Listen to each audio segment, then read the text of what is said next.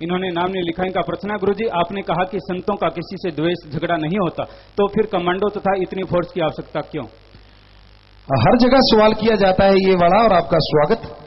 हम तो एक छोटे से फकीर हैं भाई, श्री राम जी। श्री कृष्ण जी भगवान हुए और श्री कृष्ण जी के पास नारायणी सेना थी।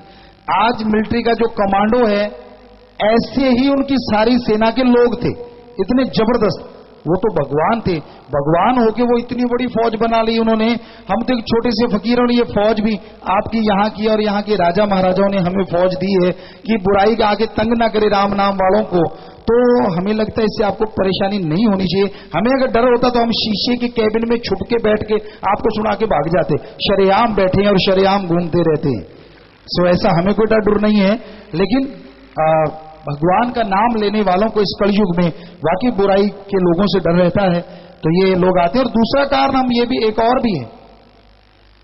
ये जितने भी फोर्स वाले सज्जन आते हैं, इनका काम क्या रहता है? चोर पकड़ लिया, कातिल पकड़ लिया, इसको पीट लिया, उसको पीट लिया, इसको पकड़ लिया, खुद भाग लिए, कभी खुद के पड़ गई, कभी दूसरे के पड़, ठोक दी। तो ये चलता रहता है प्रोग्राम तो है तो ये भी इंसान। हमारे ख्याल से ये एक भगवान की कृपा है कि इनको भी राम नाम सुनने का, अल्लाह वाहिगुरु का नाम लेने का आज मौका मिला है, वरना इनके लिए कहाँ टाइम होता है? सारा दिन भागा दौड़ी। तो हमें तो लगता है भगवान की कृपा है इन पे। ये अपनी ड्यूटी दे रहे हैं, वो एक अलग चीज़ है। लेकिन राम नाम, अल्लाह मालिक का असर हो रहा है, वो भी बहुत बड़ी बात है। सो आशीर्वाद जी।